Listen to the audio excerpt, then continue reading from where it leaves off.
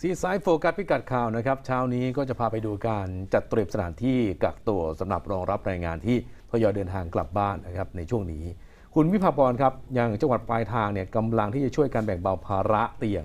ในพื้นที่ควบคุมสุดๆได้มากเลยนะครับ ค่ะ จังหวัดปลายทางตอนนี้นะคะ ก็เลยมีมาตรการเข้มในการดูแล แล้วภาพที่สำคัญก็คือชุมชน ดูแลคนในชุมชนด้วยกันเองค่ะ สวัสดีค่ะ คุณผู้ชมคะพบกับฟักแฟงวิภาพรวัฒนาวิทย์ในซีไซโฟกัสพิกัดข่าวนะคะเช้านี้เราเปิดประเด็นโฟกัสที่เรื่องของการเตรียมป้องกันโควิด -19 คือตอนนี้ไม่ได้มีเฉพาะ 10 จังหวัดในพื้นที่ควบคุมสูงสุดเข้มงวดเท่านั้นนะคะ เวลานี้คนด่านหน้าในทุกจังหวัดเขาก็ทำงานกันอย่างหนัก โดยเฉพาะจังหวัดปลายทางที่มีแรงงานแจ้ง ว่าอยากจะเดินทางกลับภูมิลำเนาไปรักษาตัวไปกักตัวอยู่ที่บ้าน พิกัดหนึ่งค่ะ รายงานมาจากพื้นที่ภาคอีสานนะคะ หมุดนี้ภาพนี้รายงานจากพื้นที่อำเภอเกษตรวิสัยจังหวัดร้อยเอ็ดค่ะ เป็นพิกัดหนึ่งที่มีกลุ่มแรงงานประสานว่าทยอย จะขอเดินทางกลับภูมิลำเนานะคะ พระครูเกษตรสราพิรักษ์ท่านเป็นเจ้าอาวาสวัดสาเกตอำเภอเกษตรวิสัย จังหวัดร้อยเอ็ดก็จะพาเราไปติดตามความพร้อมของหน่วยงานในท้องถิ่น เตรียมความพร้อมสถานที่กักตัวของคนที่มาจากพื้นที่เสี่ยงค่ะ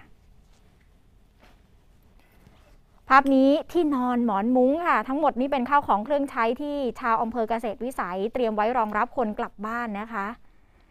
คนที่เดินทางกลับจากจังหวัดเสี่ยง 10 จังหวัดจะไปที่นี่ต้องแจ้งพื้นที่ปลายทางก่อนค่ะ เมื่อกลับไปถึงบ้านก็ต้องรายงานตัวต่อเจ้าหน้าที่อสมหรือว่าผู้ใหญ่บ้าน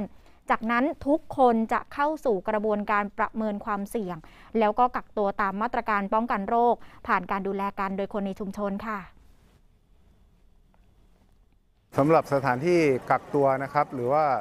local quarantine นะครับในเขตพื้นที่ของอำเภอเกษตรวิสัยเรา ตอนนี้เราได้มีการจัดเตรียมไว้สำหรับรองรับพี่น้องประชาชนนะครับ ของชาวอำเภอเกษตรวิสัยที่จะกลับเข้ามาในพื้นที่นะครับอตอนนี้เราเตรียมไว้ทั้งหมด 15 แห่งนะครับ ในเบื้องต้นมีแล้ว 15 แห่ง